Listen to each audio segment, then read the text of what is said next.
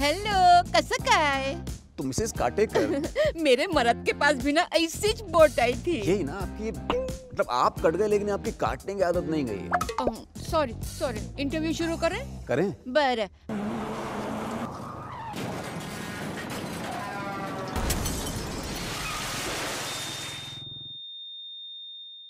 लेन cutting करने से क्या नुकसान होते हैं?